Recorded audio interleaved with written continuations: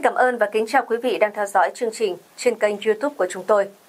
Thưa quý vị, vào mùa mưa, nhất là dịp hè, những cơn mưa rông bất chợt kèm theo xét đánh luôn đe dọa tính mạng của con người. Hàng năm trên thế giới có khoảng 250.000 người bị xét đánh và hàng chục nghìn người trong số đó thiệt mạng. Những người sống sót cũng bị tổn thương sức khỏe nghiêm trọng. Điển hình tại Ấn Độ, chỉ trong vòng 2 tháng có 107 người bị xét đánh dưới trời mưa tại bang Mihya Pradesh, miền trung Ấn Độ. Đây là con số gây giật mình được Hội đồng củng cố hệ thống giám sát ứng phó khí hậu, một tổ chức tư nhân theo dõi các vụ tai nạn do xét đánh cung cấp. Theo hãng tin RT, do ảnh hưởng của mưa, Ấn Độ phải hứng chịu báo động đỏ về bão xét và mưa lớn. Cụ thể, bão lớn kèm theo xét đã xảy ra tại nhiều khu vực ở các bang Đông Bắc Ấn Độ như Uttar Pradesh và Bihar. Xét đã đánh trúng ít nhất 107 người, phần lớn là nạn nhân và nông dân làm việc trên các cánh đồng rộng lớn. Cơn bão đã cướp đi mạng sống của 83 người dân sinh sống tại bang Bihar và trên 20 người khác ở những khu vực lân cận. Hàng chục nạn nhân được đưa tới bệnh viện địa phương trong tình trạng bỏng nặng và phải cấp cứu.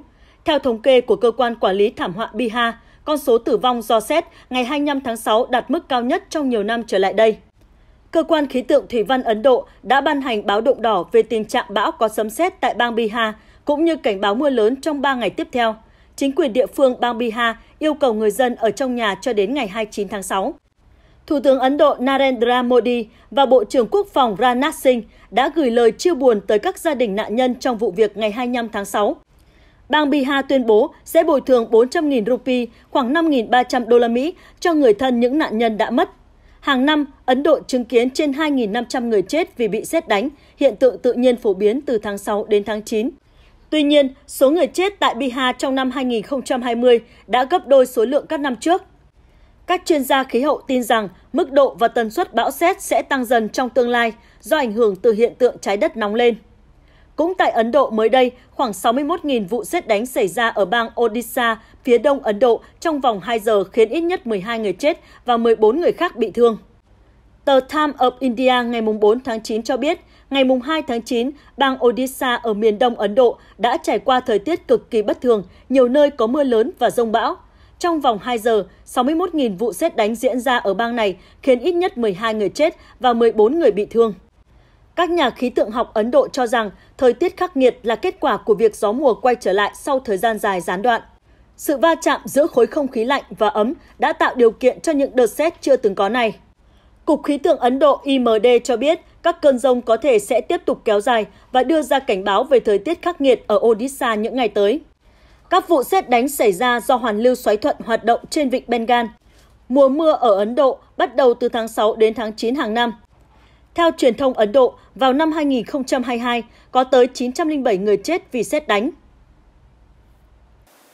Thưa quý vị, không chỉ riêng Ấn Độ mà tại Uzbekistan, xét đánh trúng nhà kho chứa pin xe điện gây nổ lớn, khiến 164 người thương vong. Vậy nguyên nhân sâu xa nào khiến Uzbekistan rơi vào thảm cảnh như vậy? Mời quý vị cùng theo dõi ngay sau đây. Một vụ nổ lớn đã xảy ra vào ngày 28 tháng 9 lúc 2 giờ 43 phút sáng theo giờ địa phương tại một nhà kho hải quan của Interlogistics LLC gần sân bay Tashkent, quận Segeli ở Uzbekistan. Có ít nhất 163 người bị thương và một cậu bé 15 tuổi tử vong trong vụ tai nạn này. Ngay sau khi vụ nổ xảy ra, cảnh sát đã phải huy động hàng chục xe cứu thương đến hiện trường vụ nổ để đưa người bị thương đến bệnh viện. Đáng chú ý, trong số những người gặp nạn, có ít nhất 5 trẻ em bị thương do kính vỡ và một cậu bé 15 tuổi thiệt mạng. Hiện chưa rõ có bao nhiêu người ở trong nhà kho khi vụ việc xảy ra. Theo một vài báo cáo ban đầu, nguyên nhân gây ra vụ nổ được cho là do một vụ tai nạn máy bay. Tuy nhiên, ngay sau đó, chính quyền Uzbekistan đã lên tiếng phủ nhận các thông tin này. Bộ Nội vụ Uzbekistan cho biết nguyên nhân gây ra vụ nổ là do xét đã đánh trúng một nhà kho chứa ô tô điện và pin. Dựa trên quy mô của vụ nổ, cũng có những nghi ngờ cho rằng nguyên nhân có thể đến từ các chất cấm được cất giữ trong nhà kho. Tuy nhiên, những đồn đoán này đã chính thức bị phủ nhận. 16 đội cứu hỏa riêng biệt đã lao vào chiến đấu với ngọn lửa khổng lồ bao phủ hơn 32.000 feet vuông, tương đương gần 3.000 mét vuông. Người dân ở Nurafsan, một thị trấn phía nam Tashkent, Uzbekistan, cách tâm trấn vụ nổ khoảng 32 km, cũng cảm nhận được sức ảnh hưởng một cách rõ rệt. Bộ tình trạng khẩn cấp của Uzbekistan cho biết một số trang mạng xã hội đang lan truyền tin giả rằng vụ việc ở quận Segeli là kết quả của một vụ tai nạn máy bay. Đây là thông tin hoàn toàn không chính xác. Sau đó, Bộ Tình trạng Khẩn cấp cũng cho biết rằng họ đang làm việc để xác định chi tiết nguyên nhân vụ nổ. May mắn là các chuyến bay tại sân bay Tashkent gần đó không bị ảnh hưởng bởi vụ nổ. Thưa quý vị, năm 1998 cũng đã xảy ra một vụ xét đánh thương tâm nhưng vô cùng kỳ lạ. Cùng đứng trên một mặt sân, thế nhưng 11 cầu thủ đội nhà an toàn, trong khi 11 cầu thủ đội khách bị xét đánh tử vong. Cho đến nay, vẫn được xem là một trong những thảm họa tăng thương nhất đối với nền bóng đá thế giới. Tháng 10 năm 1998, đội chủ nhà Bena Sadi đón tiếp các vị khách Bansanga trong một trận đấu nằm trong khuôn khổ giải vô địch quốc gia Congo. Mọi chuyện đều diễn ra bình thường cho tới khi tỷ số đang là 1-1 thì một luồng xét xanh đánh xuống sân. 11 cầu thủ của đội chủ nhà ngay sau đó ngã dạp xuống sân, kêu la trong đau đớn vì bị xét đánh trúng. Các nhân viên y tế chạy vào sân để can thiệp nhưng mọi chuyện đã quá muộn. Tờ báo địa phương Kinshasa Slovenia đưa tin, xét đã đánh chết 11 cầu thủ tuổi từ 20 đến 35 và hơn 30 người khác bị bỏng. Nhưng người ta cũng nhanh chóng phát hiện ra điều kỳ lạ là vào thời điểm tai nạn xảy ra, cầu thủ của cả Benasadi và Bansaga đang đứng xen kẽ nhau trên sân. Tuy nhiên, xét lại chỉ đánh trúng vào toàn bộ 11 cầu thủ đội chủ nhà mà không trúng đội khách. Điểm bất thường này khiến nhiều người đặt nghi vấn về việc các vị khách nhờ tới bàn tay phù thủy để can thiệp vào trận đấu.